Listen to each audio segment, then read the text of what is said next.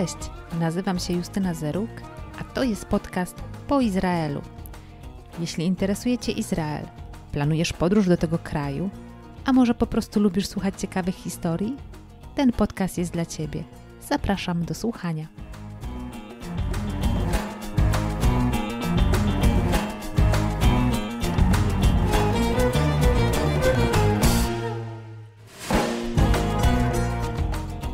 Podcast po Izraelu, odcinek 22.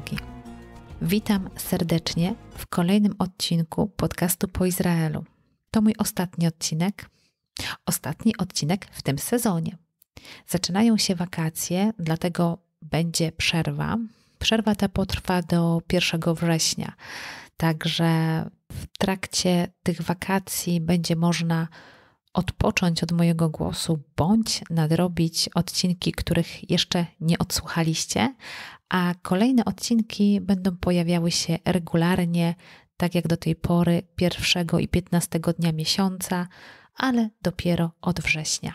Pod koniec odcinka pojawi się jeszcze pewne ogłoszenie, dlatego zachęcam, żeby zostać ze mną do końca, tym bardziej, że ten odcinek nie będzie zbyt długi.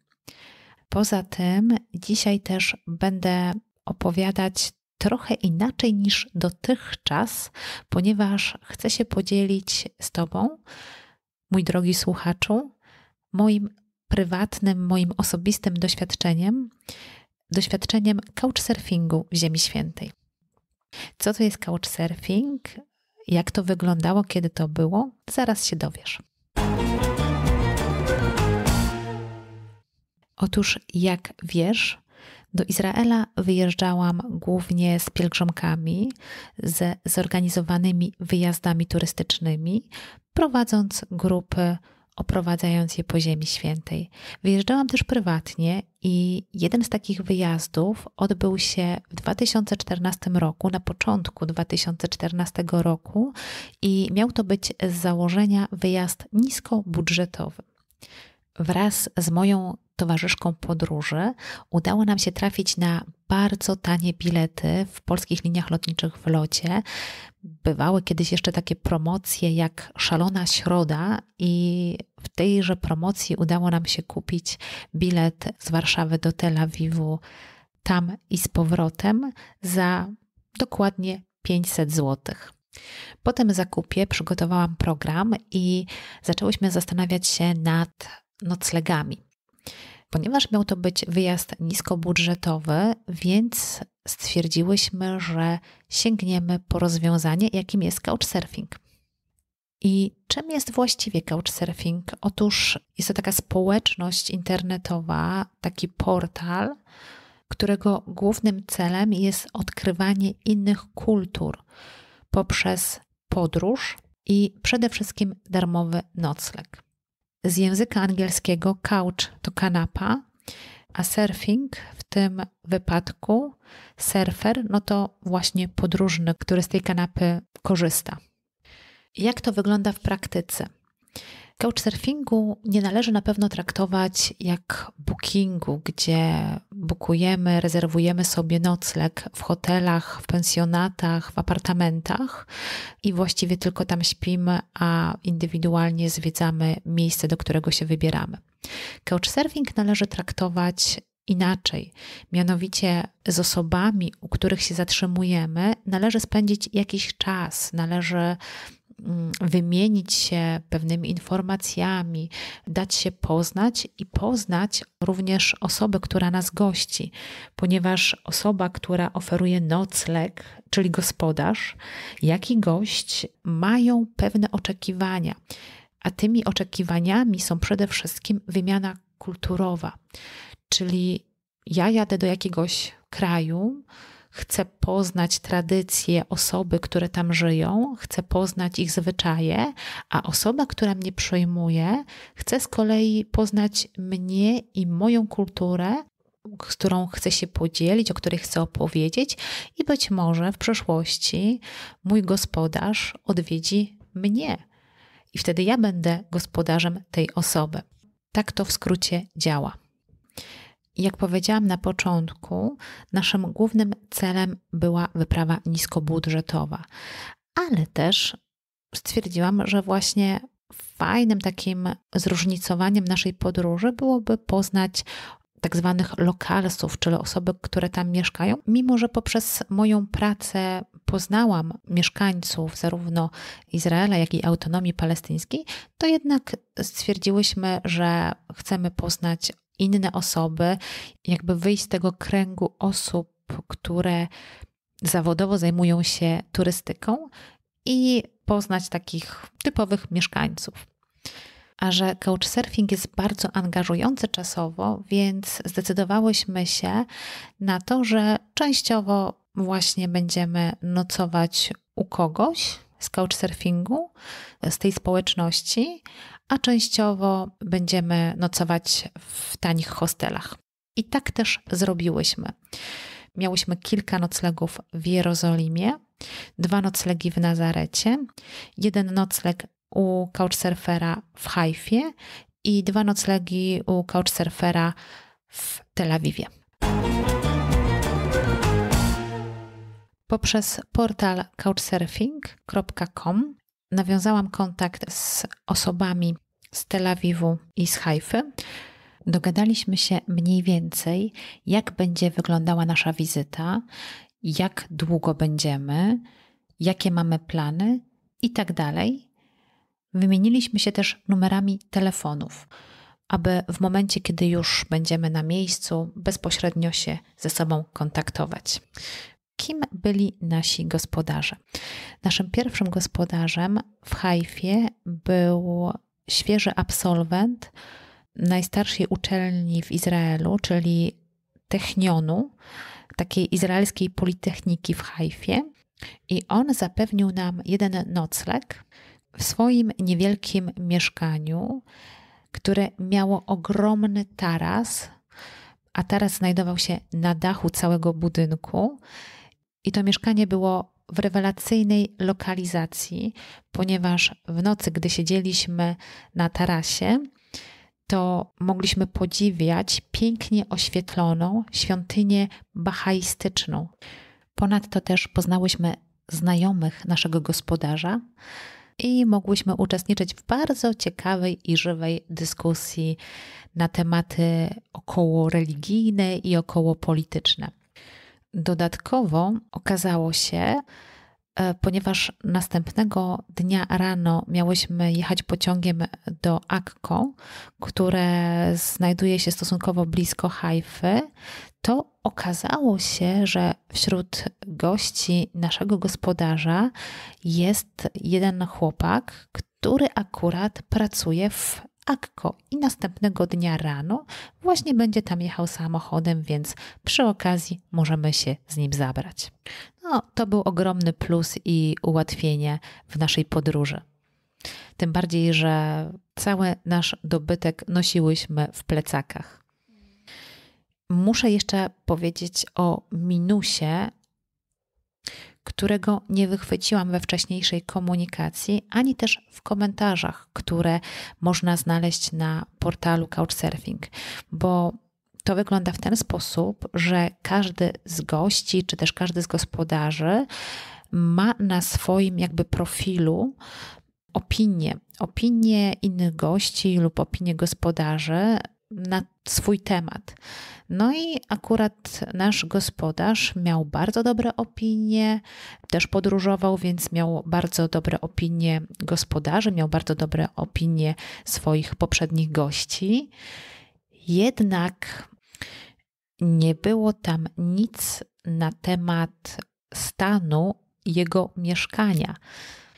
Więc albo przed naszym przyjazdem zapomniał, no, nieco posprzątać, delikatnie powiedziawszy, albo to była taka jego norma.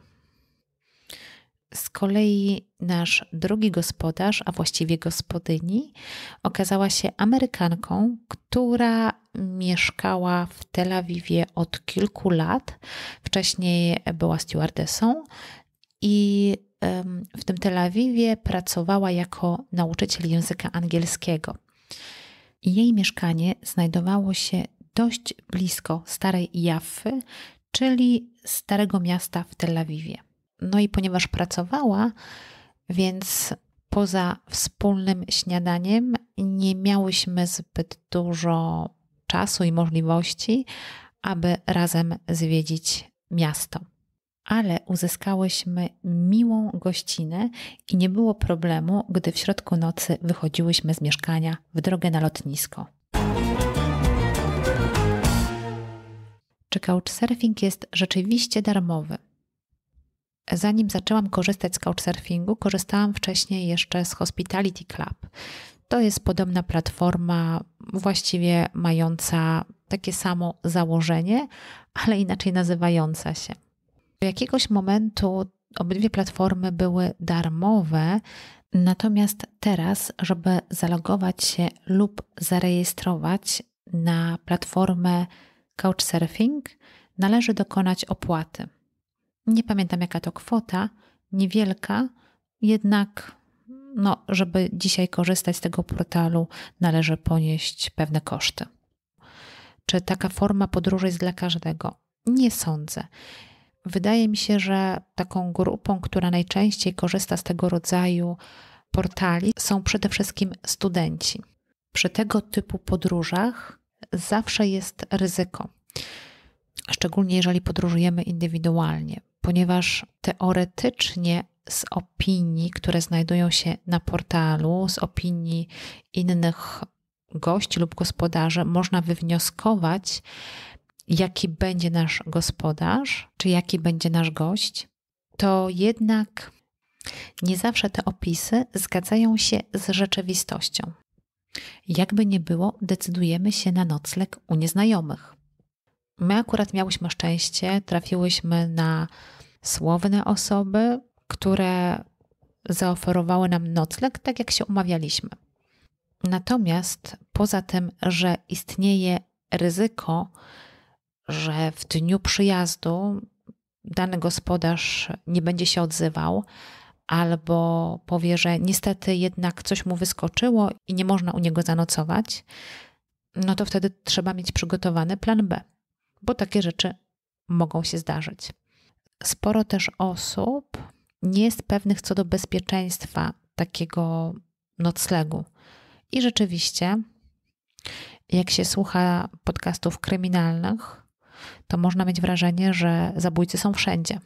I przypuszczam, że taka sytuacja mogła mieć miejsce, albo nawet miała. Nie wiem, nie sprawdziłam tego.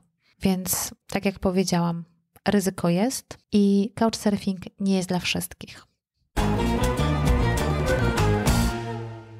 Czy ja do tego namawiam? Nie, absolutnie. W tym odcinku chciałam po prostu powiedzieć, że jest taka możliwość, bo być może ktoś z Was, może Ty, słyszysz o couchsurfingu po raz pierwszy. Gdy wynajmowałam mieszkanie w Warszawie ze znajomymi, to przez nasz dom przetoczyli się ludzie z Włoch, Anglii, Ukrainy, Czech, Stanów Zjednoczonych, a nawet z Afganistanu. I choć nie zawsze dysponowałam czasem, żeby porozmawiać z naszymi ciekawymi gośćmi, to jednak pamiętam ich twarze i opowieści z ich życia, którymi się z nami dzielili. I o ile Couchsurfing nie jest portalem randkowym, to jednak niektóre osoby mogą tam znaleźć swoją przyszłą żonę lub przyszłego męża. Tak jak to się stało w przypadku Sylwii Hasbon, mojej gościni z 11 odcinka, czy też tak jak to się stało w przypadku mojej dawnej współlokatorki, którą serdecznie pozdrawiam. Niektórzy zarzucają couchsurfingowi, że jest to portal podobny do Tindera, czyli z podtekstem seksualnym. I tak słyszałam o takich przypadkach, jednak to bardzo szybko da się zweryfikować i da się wyczytać pomiędzy wierszami, czy też w komunikacji z danym gospodarzem czy też danym gościem. To tyle, jeżeli chodzi o temat couchsurfingu. W internecie znajdziecie wiele blogów osób, dla których couchsurfing stał się stylem życia, więc można z tym tematem zapoznać się szerzej. Na zakończenie tego sezonu chciałabym przekazać obiecaną informację. Już od jakiegoś czasu można się zapisać do mojego newslettera. Przygotowany też jest krótki e-book z programem, który został niemal w całości przeze mnie zrealizowany w 2014 roku. Jest to program dla osób, które chcą wyjechać do Izraela indywidualnie i po raz pierwszy. Dodatkowo w e-booku znajdą się informacje praktyczne, które pomogą w przygotowaniu się do tej wyprawy, jaką jest podróż do Izraela. E-book jest oczywiście bezpłatny. Można go pobrać, zapisując się do subskrypcji newslettera na mojej stronie internetowej www.poizraelu.pl. Proszę, pamiętaj o potwierdzeniu i zgodzie na otrzymywanie newslettera. Inaczej nie będę mogła przesłać Ci e-booka. Następny sezon zaczynamy od 1 września. Kilka odcinków już mam zaplanowanych i przygotowanych. Natomiast jeżeli uważasz, że są tematy, o których chciałbyś posłuchać, specjaliści, których chciałbyś też usłyszeć w moim podcaście, proszę daj mi o tym znać. Oczywiście wezmę to pod uwagę przy planowaniu kolejnych odcinków, ponieważ te odcinki są przygotowane dla Ciebie, mój słuchaczu, i Twoje zdanie też tutaj się liczy. Dlatego będzie mi miło, jeśli otrzymam od Ciebie wiadomość. Na dzisiaj to tyle. Bardzo dziękuję za wysłuchanie tego ostatniego odcinka sezonu pierwszego. Zapraszam do wysłuchania kolejnych odcinków, które zaczną się ukazywać od 1 września. Tymczasem życzę udanych wakacji i pozdrawiam serdecznie.